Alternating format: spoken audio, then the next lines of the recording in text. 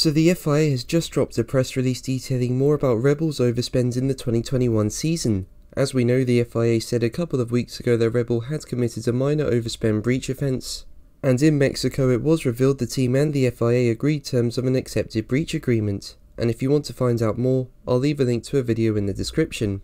But before we begin, if you enjoy the video make sure to leave a like and also subscribe for more Formula 1 content and you can follow me on Twitter at james underscore Formula 1 and there'll be a link in the description.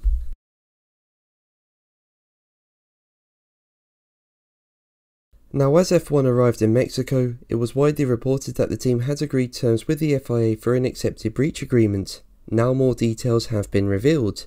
The FIA Bull submitted relevant costs reported in its 2021 full-year reporting documentation of £114,293,000 but it added the team inaccurately excluded costs amounting to a total of £5,607,000 in its 2021 full year reporting documentation. So consequently, it means there was a minor overspend breach offence committed by Red Bull because its relevant costs, as adjusted by the FIA, exceeded the 2021 cost cap of less than 5%, with the figure amounting to £1,864,000. Now as a result, Red Bull have received a financial and minor sporting penalty, they must pay a fine of $7 million and on top of that, there's a limitation of Red Bull's ability to conduct aerodynamic testing during a period of 12 months from the date of execution of the ABA, and this includes a reduction of 10% of wind tunnel time.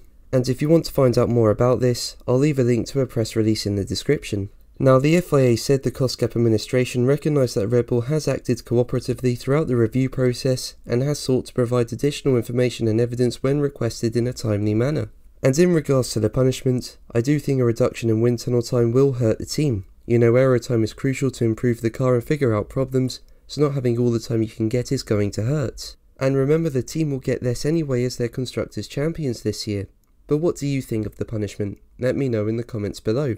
But that's going to be the video from me today, thank you ever so much for watching, make sure to like and subscribe for more videos, and until the next one, take care,